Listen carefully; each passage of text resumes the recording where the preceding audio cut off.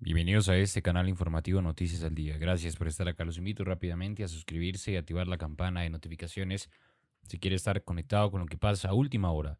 ¿Cuál será el próximo paso del ejército de Ucrania? Tras un avance relámpago, las fuerzas ucranianas deben decidir si se atrincheran o siguen adelante.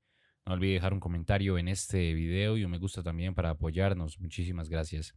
Hace un mes los analistas se preguntaban si Ucrania tenía capacidad para una gran ofensiva. Ahora se preguntan hasta dónde llegará.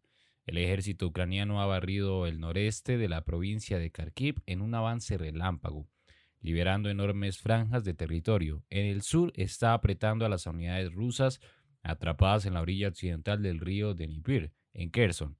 El ejército ruso está agotado, desorientado y desmoralizado, pero el Estado Mayor ucraniano debe decidir si se maridan sus recursos o se presiona su ventaja con una tercera arremetida.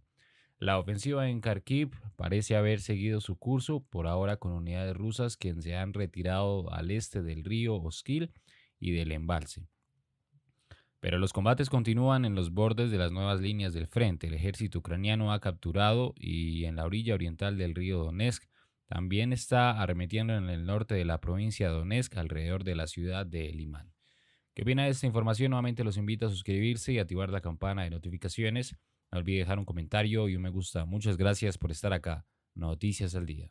Eh, como saben, eh, estamos eh, esta semana que viene en la 77 Asamblea General de las Naciones Unidas, estableciendo un récord de asistencia. Como ha dicho el presidente Biden, Estados Unidos está comprometido a renovar su interacción con todas las regiones del mundo, enfrentando los retos más apremiantes que tenemos. Un mensaje central de líderes de todo el gobierno es el respeto a los principios del orden internacional que se necesitan hoy más que nunca.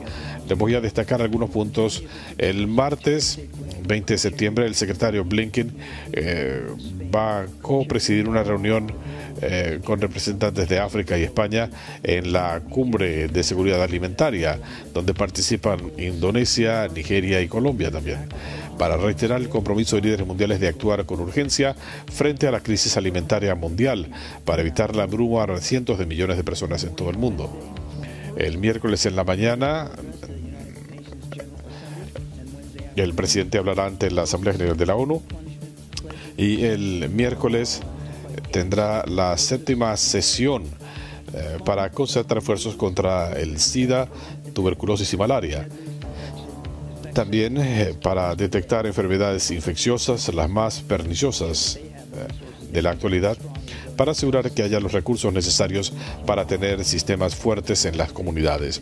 El presidente también aprovechará esta oportunidad para alentar a todas las naciones a hacer más para alcanzar las metas de 18 mil millones de dólares en fondos para el 2025 y hacia el final de la semana habrá una recepción diplomática.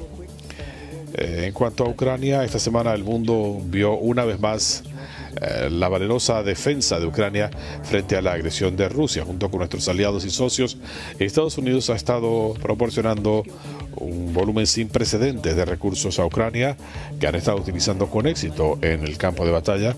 Como vieron anoche, anunciamos nuestro vigésimo primer paquete de asistencia, utilizando la autoridad que tiene el presidente. Estamos hablando de 600 millones de dólares. Esto incluye munición eh, para sistemas de cohetes, sistemas móviles. Eh, eh, sistemas de vigilancia aérea, munición y más.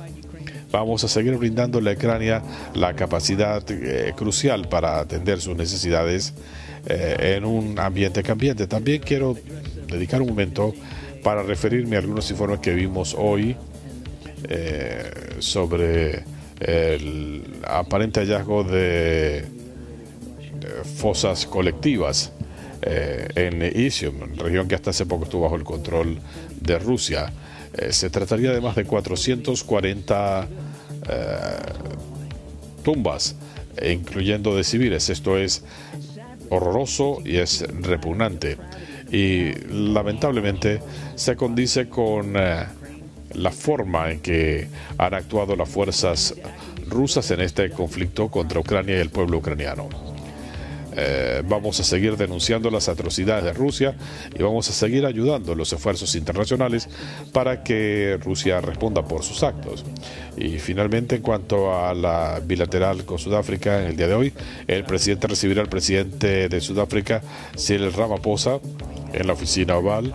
Eh, van a hablar de una serie de asuntos apremiantes, incluyendo el clima, alianzas en materia de salud y oportunidades de incrementar el comercio y la inversión para fortalecer nuestra alianza con Sudáfrica en múltiples niveles de interacción. Y después de la reunión tendremos una sinopsis.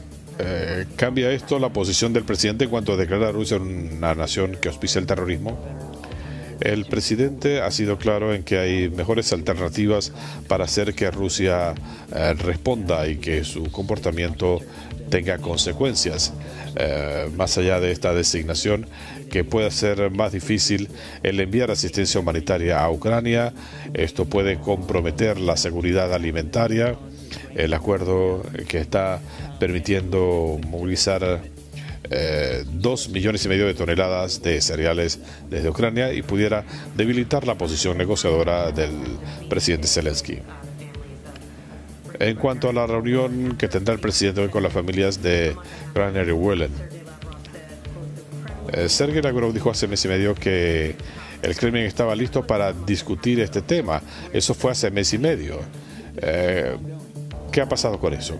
Las conversaciones están en marcha.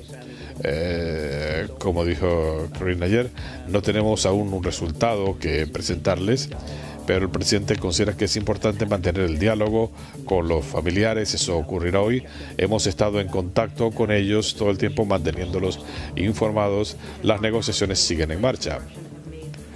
Eh, pero eh, ¿ha habido alguna respuesta significativa de Rusia? No han respondido a nuestra oferta. Hemos presentado una oferta seria para traer a Britney Griner y Paul Whelan, pero Rusia no ha respondido a esa oferta. Eso no significa que no sigamos negociando y sigamos esforzándonos. ¿Puede hablarnos un poco más acerca de la bilateral y conversaciones sobre Rusia, el conflicto en Ucrania, considerando que los presidentes Biden y Ramaphosa no necesariamente comparten puntos de vista eh, sobre este conflicto. Eh, tenemos razones para pensar que el tema será abordado. Dejaremos que los líderes tengan esa conversación antes de nosotros eh, hablarles del tema. El presidente Biden ha sido muy claro en cuanto a nuestra posición. Sé que quiere escuchar el punto de vista del presidente Ramaphosa y al final del día podremos darles más detalles. Eh, no puedo decir por qué no ha habido una respuesta de, de Rusia en los casos de Greiner y Whelan. Eh, son los términos de la oferta, eh, la guerra en Ucrania. Si tuviéramos la respuesta a esa pregunta, quizás ya tendríamos un acuerdo. Sería mejor preguntarle a nuestros colegas de Rusia. Hemos hecho un esfuerzo serio y realmente estas dos personas deberían estar en el país, punto.